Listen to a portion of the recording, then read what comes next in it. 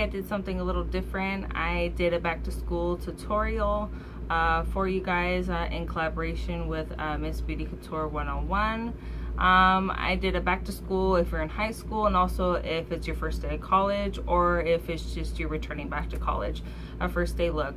This is a little bit glam um, and it's a little bit out there, but instead of doing the, you know, the, the typical, you know, back to school tutorials that I always see on YouTube, um, I thought I would go a little bit different, go out of my comfort zone and just go full on glam with glitter and you know so on and so and forth. And I want to thank Miss Beauty Couture 101 for encouraging me to do this tutorial. I was really skeptical because this is my first time doing one and I just want to say thank you to her because you know without her kind of you know giving me a little push then I would have never done it and I really really enjoy it. Um, so I hope to do more with you guys soon and stay tuned to watch the tutorial. Bye!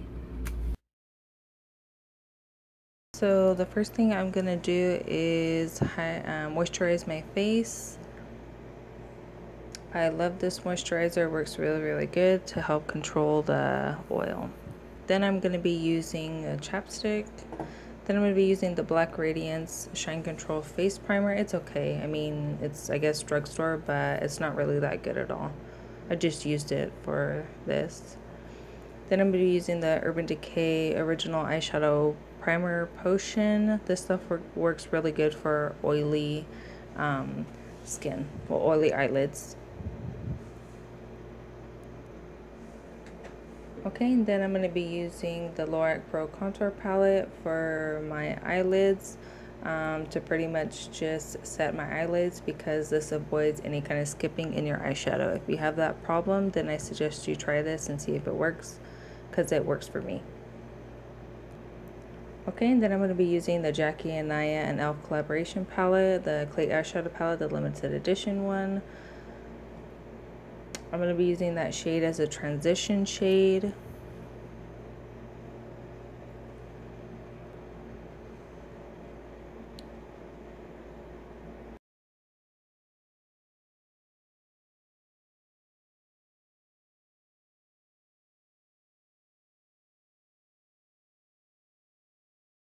going to be using the Lorac Pro 2 um, palette. I'm going to be using the Cool Gray shadow as another transition.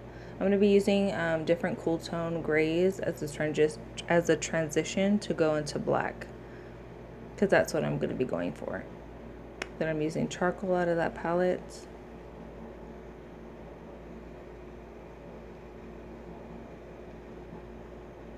Then I'll be using the black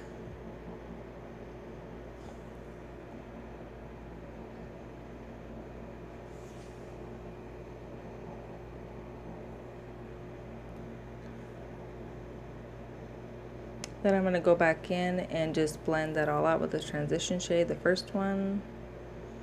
Then I'm going to be using the wet, this Wet and Wild Coloricon, like glitter, um, this like glitter glue eyeshadow. And I got it at the Dollar Tree and I actually really, really like it. I was skeptical at first, but it works really good.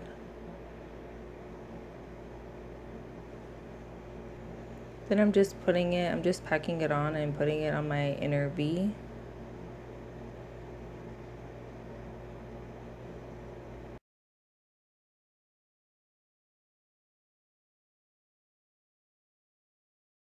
As you can see, I really like it.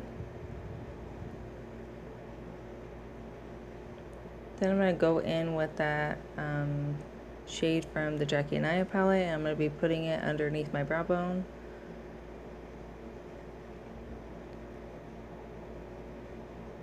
Going to go back in and kind of blend it out. Then I'm using the ColourPop gel uh, liner and swerve to tightline the my upper lash line, my upper waterline. Then I'm going to use the Ardell Lashes in 110 I got from BeautyCon. Then I'm to curl my lashes. As you can see, I don't use mascara first when I put false eyelashes. And voila!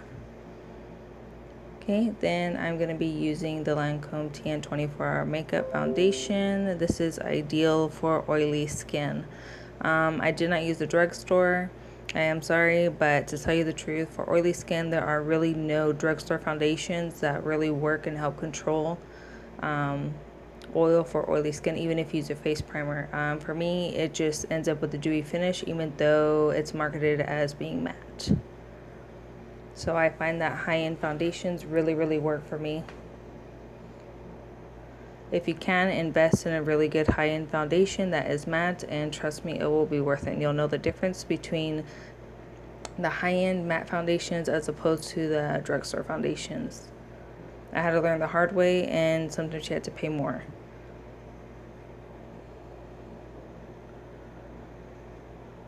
Make sure to always um, get close to your hairline just so it doesn't leave any harsh lines.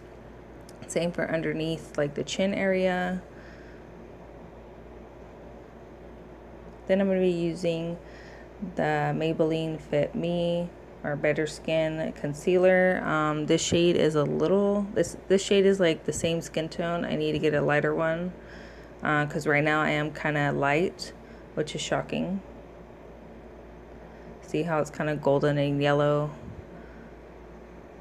like my undertones. So next time I need to get a lighter one. But it will work.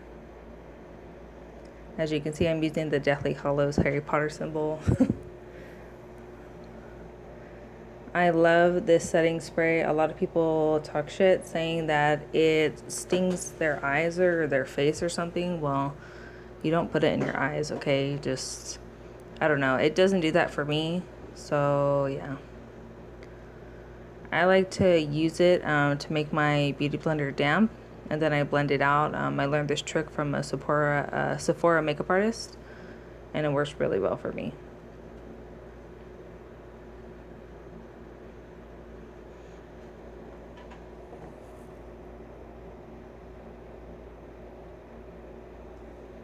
Then I'm going to be using the Airspun Loose Face Powder. Um, I love this stuff for baking. Um, this is the key for you, for those of you that have really oily skin. I suggest you go out and get this. Um, I'm tapping it on the bottom because it's really hard to actually get out the product itself. The sifter is doesn't really let it come out that much. So yeah. It does smell like um, an old lady or old lady perfume. So if you can get past the scent, it doesn't linger anything, so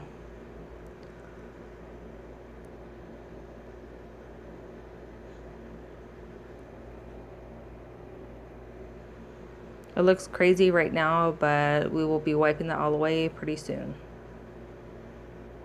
Okay, and then I'm going to be using the Bronze Booster from Physicians Formula. I really, really like this bronzer right now because I'm pretty fair, so it actually shows up on my face. But when I am kind of tan or dark, it doesn't really show up. So I'm taking advantage of that now.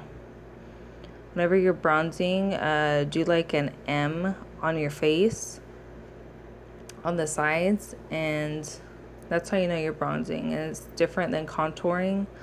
Contouring is just like kind of like giving a precision, you know, to really sculpt out those cheekbones. So I didn't want to contour. I just wanted to bronze since this is a back to school um, look. So it's a little bit easier even though I did do full glam on this look. Then we're going to be walking the bakage away, away, away from the eye.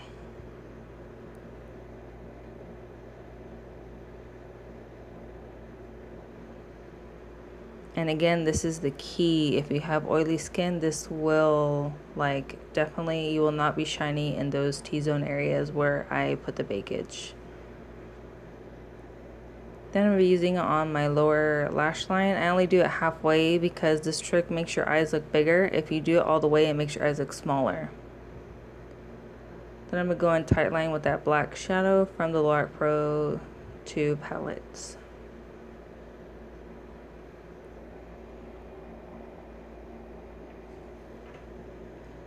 Then I'm going to be going in again with that same cool gray shade just to kind of transition or just to blend it with the smokiness that I already have.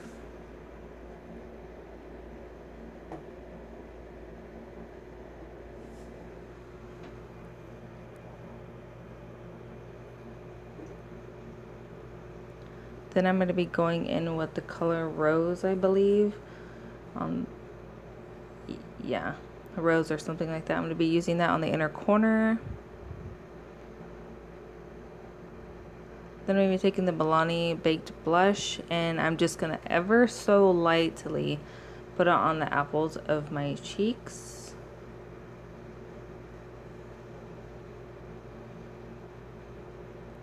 That brush is like great for applying blush and for you not to overdo it. I try to use that um, highlight shade in Jackie Aina's palette, but it was a total dead and it did not work. I don't understand why, but it just was not working. Um, I don't know what the hell the deal was, but she does on Snapchat and it looks, you know, it shows up on hers, but I don't know what she's doing to like make it show up, but it did not show up on mine, so I don't know. I'm just going to use the e.l.f. Baked Highlighter and Moonlight Pearls. And as you can see, my highlight be on flake.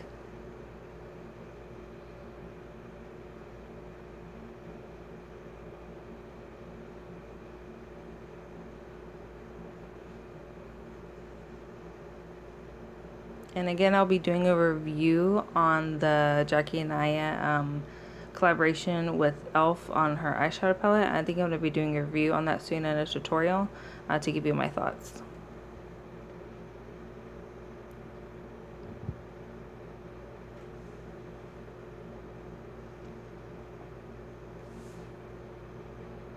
Okay, then I'm going to be using the Slay All Day Gerard Cosmetics Setting Spray again.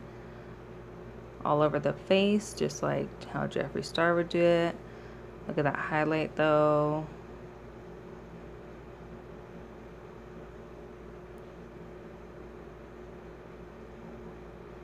Okay, and then I'm using the Wet n Wild lipstick in Just Peachy and then the Rimmel London liner in, I don't know that word, but um, I'm using the liner because it's a warm tone brown and I don't really like pink lipsticks, so this is definitely going to make it less pink.